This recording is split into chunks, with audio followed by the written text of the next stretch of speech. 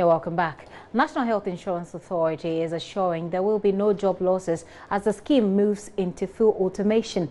Chief Executive Dr. Samuel Annor believes staff will be retrained in order to be useful in other areas of operation. He says the scheme is shifting into districts and remote areas where more hands will be needed. Speaking during a familiarization tour in the Ashanti region, Dr. Annor expects the scheme, which is currently operating 90% manual, uh, to go 90% automation in a year and a half time.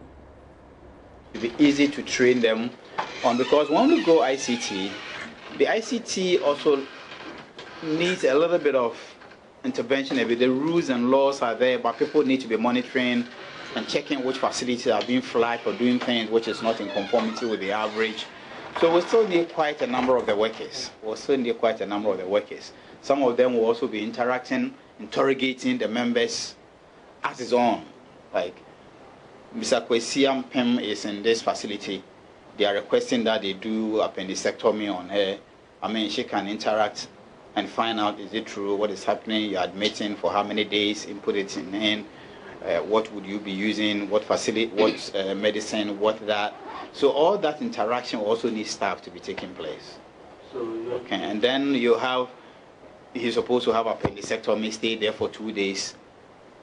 Somebody here should verify has Kwesi so and so been discharged after 48 hours. They say no, no, no, she'll go home tomorrow. Why? Verify, cross check. Okay, so it's not that the staff will be redundant; they will be trained in a different. We don't think so. We'd even hire more hands. You heard on the floor there in terms of the way we interface with the public, which is going to be our core business. We are putting people in each of the facilities so that when you go there, oh, where and cover, where and cover, all those stories, we should have an office station like the one we opened at the regional hospital. Okay, so that people will interact with the members much more. Uh, so the core business was shipped but I think we need more people. We're going to go more to the constituencies instead of sitting at the districts so that we interact with the people more to solve their problem, to deepen their confidence in the scheme. So that is the way we are going. Chief Executive of the NHIA there. Meanwhile, the authority has made a proposal to government to increase the 2.5% NHIS levy collected under the value added tax to 3.5%. According to the authority, again, the current contribution is woefully inadequate to fund the insurance scheme. For instance, smokers. Some people might want to smoke a packet, two packets, or three packets a day. That tends to subject them more to respiratory problems, tend to take them to the hospital. So they tend to use the mutual fund that all of us have to look after all of us at home more frequently.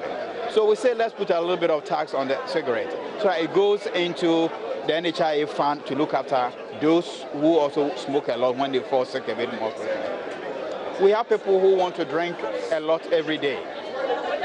Those people too, we say let's tax that habit or tax the alcohol a bit and put it in the health fund. We are not talking about a government tax that goes to government funds.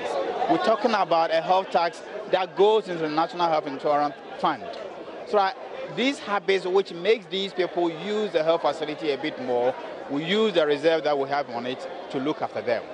We're also talking, that happens in most international conferences, international meetings, sugar tax we have all come to the realization in the world that the misuse and abuse of sugar with its antecedent overweight sometimes. When we say sugar, we're talking about sugar and all sugar related products.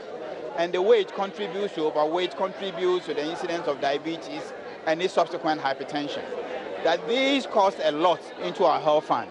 So if people still want to consume a lot of sugar, a lot of sugar related drinks and the like, let's put a bit of tax on this sugar and sugar related drinks and foodstuffs and put it in the health fund so that when they get their diabetes or they get their hypertension as a result of the diabetes, we use some of this to look after them.